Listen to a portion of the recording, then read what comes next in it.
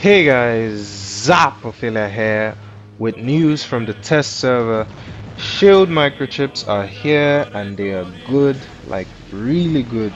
But before I show you what is possibly the single best gameplay on the test server ever, let's go over the basic details of the new F-type microchips. Okay, so guys, you're going to have to forgive me for clickbaiting on the YouTube thumbnail. There are only three types of shields. The shields are already in the game, the Ancile, the Aegis, and the Absorber. And right next to them, you can see their logos in terms of microchips. And the differences between the shields, the balance between the shields is maintained. The Ancile and Absorber are built to protect groups of robots and are very wide with tons of HP. And as a result, they also pick up tons of stray bullets. Uh, the Aegis, on the other hand, is built to protect a small, a single bot, so lower durability, but also a compact shield radius that avoids unnecessary stray bullets, so you can still dodge while an Aegis shield is active. On the other hand, the Ancile and Aegis have finite durability. That means they can be destroyed. So they are permanent and once activated, they remain or last till they are destroyed. The the absorber, on the other hand, has basically infinite durability, and so they're temporary. Uh, like in robots, the same thing with drones. So when the absorber shield activates after a particular amount of time, which has been undisclosed, it's going to go whether or not you want it to. And so now uh, you can tell that the Ancile is the odd one out. Unfortunately, I didn't test it out enough on the uh, last test server because, you know, with the new uh, laser sniper, it's so limited and underpowered and I'm sorry for that but it might have some form of regeneration that ends when it is destroyed. And this brings us to the key limitations slash differences between shield microchips and shields on normal bots and of course the Ancile. Uh, first of all they don't regenerate f-type sockets shields shield microchip shields do not regenerate and in terms of the absorber it's actually capped. And a normal absorber on the pantheon has infinite durability but for a microchip version it's capped at 500,000 HP so what this means is it's basically indestructible but I'm guessing if enough pay to win players and maxed out titans gang up on it, they could possibly destroy this absorber shield. So I can't wait to see if anyone actually destroys an absorber shield. God knows it's not going to be me. Only three types of shields, but 11 microchips. And what this does is it gives a vast array of customization options on when and how the shields activate. Let me explain. The F-type or shield microchips can be divided into two groups, the single use and the reusable groups. Under single use, we have the keyword frightened, and under reusable, we have the keyword recurrent. Now, frightened is a new keyword to the War Robots drone universe, and what it means is the first time your robot receives damage, it activates the shield.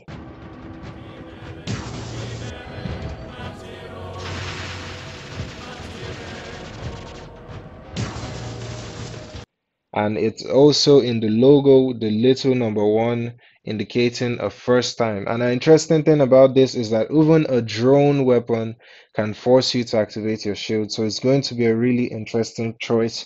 It's only available in Ancile and Aegis, Frightened Ancile, Frightened Aegis. So it's going to last until it's destroyed from that first activation. There's no Frightened Absorber because you can imagine so many ways it can be used to get an unfair advantage especially in beacon rush uh, when you capture the opponent's home beacon and if you spawn there with absorber shields ready i don't see a reasonable way they can counter your push. Now, leaving the single use, we're going to do usable. That's the recurrent. We all know what recurrent means. It's all over the place in drones. It's divided into three types. We have the in trouble, the crashing, and the emergency. The in trouble is uh, the lowest risk version if you get hit by a decent amount of damage, sorry, if you receive a decent amount of damage in a short period of time, in this case, 70,000 damage over five seconds, it activates the shield. So this is usually when someone is intent on killing you and is unloading all his weapons, the shield activates. And the durability of the shield is decent because it's a low risk choice uh, five second re reload time meaning if after five seconds you reach the criterias again it's going to reactivate although i don't know if it can stack up it's probably unlikely but that would take a lot of specific testing to find out and then the logo just has a single arrow pointing down, which uh, signifies it's low risk, that your health is going down, it activates. Then the crashing is a step up from the in trouble. This is when you're losing a ton of health, almost double the criteria. Then that's uh, 150,000 HP in 5 seconds. It activates the shields and this is high risk, high reward. Obviously, it works better with high durability bots, and that's the basic gist of it. Still the same five second cooldown. So if you can find some way uh sorry this is usually when people gang up on you they can do that amount of damage easily the shield activates and the double arrow shows the intensity of the damage you're receiving. Then finally the emergency, the emergency, rather the recurrent emergency shield microchips don't care about how fast your robot is being destroyed. They're just concerned with your health limit. So once you reach a certain point, 30% durability, it automatically activates. So this is a safer choice, but it's a little late in the game. It's also on the logo with the arrow pointing down to a set line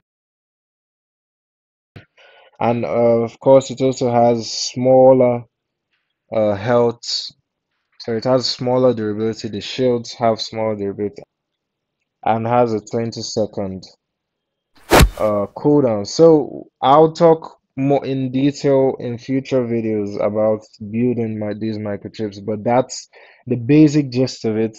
And to the developers I just want to point out that the difference between the crashing and recurrent crashing absorber and recurrent in trouble absorber isn't clear unless the absorb the recurrent crashing absorber lasts longer then it would make sense. And that's basically all the microchips. There are lots but they are also in a logical sense. So there are basically four types of microchips. Just an Ancile Aegis Absorber. Now let's see about that awesome gameplay I keep talking about. Dorime, interimo ad appare dorime, ameno, ameno, lancire, lanciremo, dorime,